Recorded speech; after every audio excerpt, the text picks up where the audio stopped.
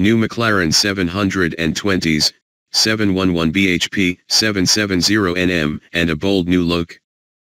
All new McLaren 720s takes Geneva 2017 by storm, replaces the 650s and will arrive in May from £208,600.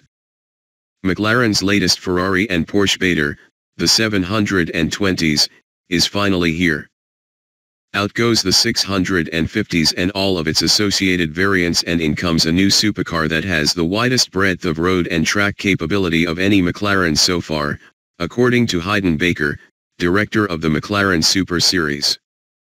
At the heart of the new 720s is a 4.0-liter twin-turbo V8 producing 711 bhp and 770 Nm of torque.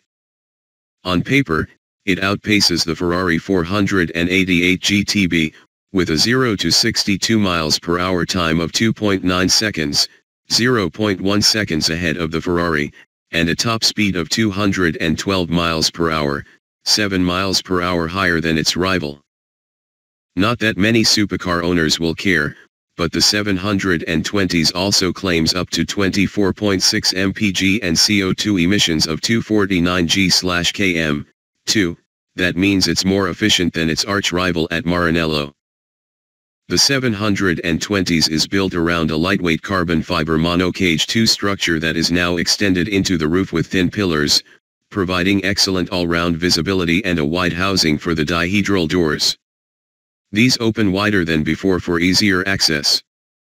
The doors themselves play a big role in the look of the new car, with their double skins channeling air into the radiators for the mid-mounted engine rather than having traditional air intakes. Rob Melville, McLaren's chief designer, describes this as functional layering with the aluminium bodywork shrink wrap to give the car a taut, purposeful, but still striking look.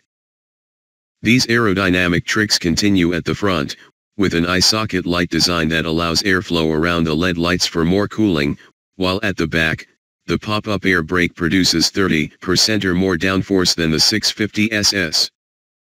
The chassis produces 6% more mechanical grip through the tires than in the 650s, with proactive chassis control 2 providing comfort, sport, or track modes, while variable drift control lets drivers manage rear tire slip via a slider on the infotainment screen.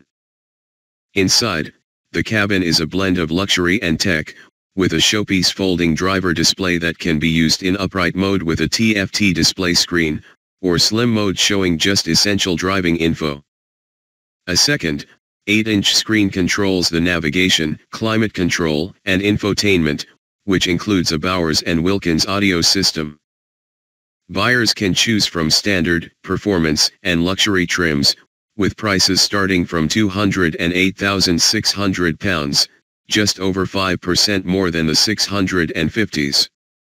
Deliveries start in May.